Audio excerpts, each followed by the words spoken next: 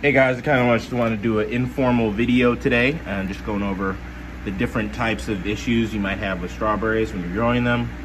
Uh, as you can see, one of these does not look like the other. Uh, this one had a plant shock issue.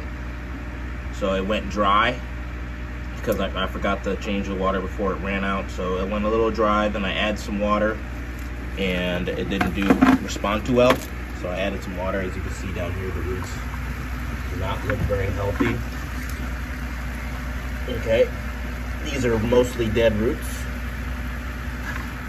So I doubt that it's from root rot.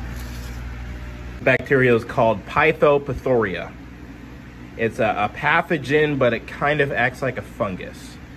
And so that uh, comes from the Greek, which is plant destroyer. Normally, this bacteria lives in a high humid, low oxygen environment. However, as you can see, I have air bubblers going. So although it does high humidity, that air bubbler continually keeps moving the water and the uh, adding oxygen continually. So, and plus I add uh, a, a, root inoculant to kill the most of bacteria called Hydroguard. And so right away I was able to eliminate there being a bacterial problem. And so I think it just got shocked from being dry for a minute. And then when I added water to it, it might have got shocked some more. And it, this is just how it responded. Um, now we'll go on to uh, regular kind of roots, like right here.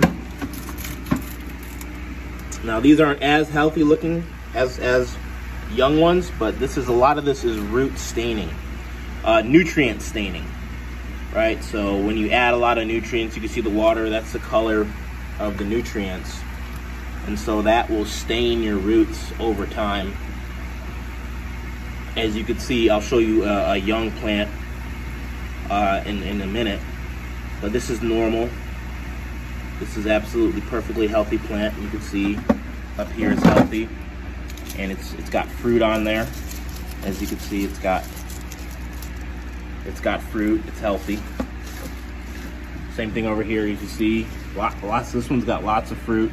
As you can see, all very healthy fruit, right? Perfectly healthy plant get a lot of root uh, staining of the nutrients.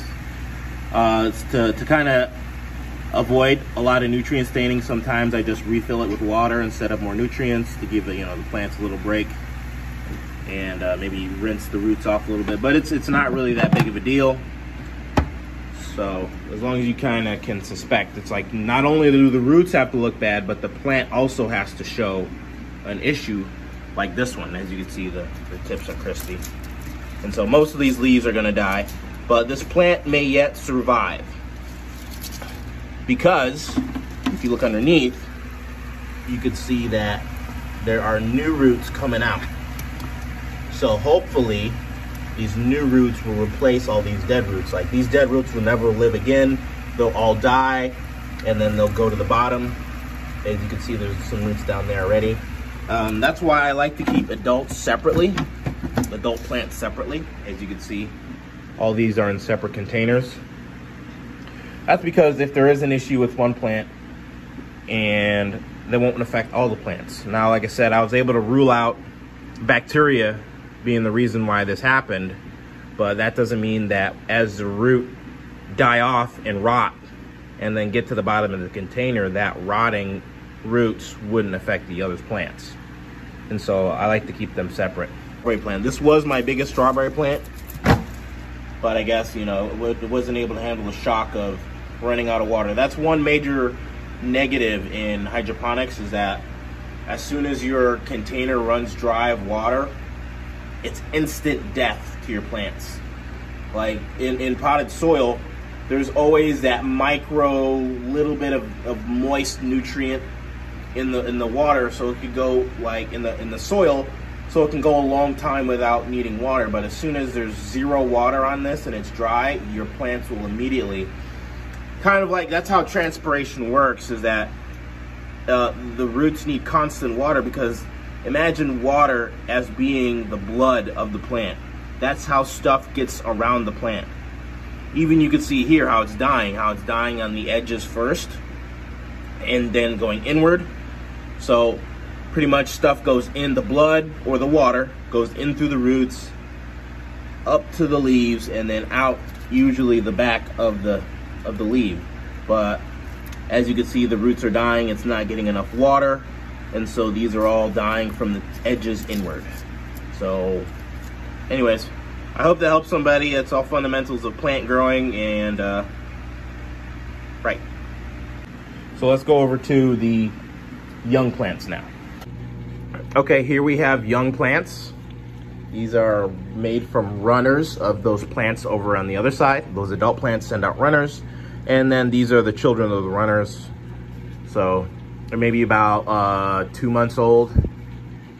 Yeah, we'll say two months. I don't. I used to keep track of everything all on spreadsheets and stuff, but I just don't have time for that. Um, so this is what young roots look like. As you can see, they're almost bleached white. These are perfectly healthy ones. This one's a little bit dark, but nothing wrong. Like I said, you look at the roots, you see the very tips are, are bleached white, and then you look at the plant. Normally the leaves are the main place where you're gonna find issues. And a normal, healthy strawberry leaf is nice, full and green. You gotta look at the tips. Sometimes on the edges might be red, and that might indicate a problem. It might not, it depends. You just gotta kinda keep an eye on it. Um, as you can see, you're, you're giving the proper nutrients of the plant if, if the tips all the way have that little point on the end, very healthy leaves, you know, just kind of giving you example. You know, leaves are the most important part of the plant because that's where it creates its sugar. So you're always keeping an eye on the leaves when you come through. But again, there's a air bubbler over there. And I also have this little pump to add the humidity because the the water level is so low that I kind of wanted to evaporate some of the stuff and make it high humid in there. So it's kind of like, you can see over here that uh, even at the very top, there's some water.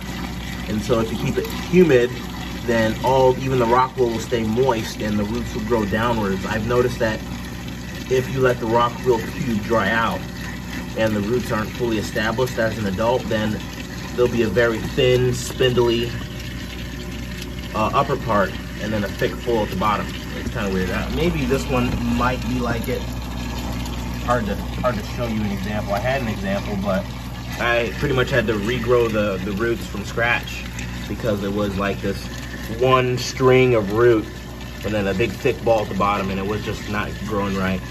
So this is what young adults, these have not been nutrient stained yet because they haven't been in nutrient long enough, but eventually these roots will probably turn a darker color. So hopefully that helps you grow your strawberries. We love healthy, happy strawberries. Um, usually with the young plants, I, I, I usually pluck the flowers because I want them to grow, focus on growing. And then once they become adults, then I let them flower and stuff like that. So this just speeds up the time. They'll, they'll focus on becoming a bigger plant, adult plant. Then I can put them in their own container and like I said, you don't always have to keep them in separate containers from birth to uh, adult plants, but usually in long-term adult plants, I usually keep them in separate containers. Alrighty, well, I hope I helped somebody out and help them grow their strawberries. And uh, if you have any questions, oh, you can always ask me below in the comments. I answer all questions. Thank you. Have a good day. Bye-bye.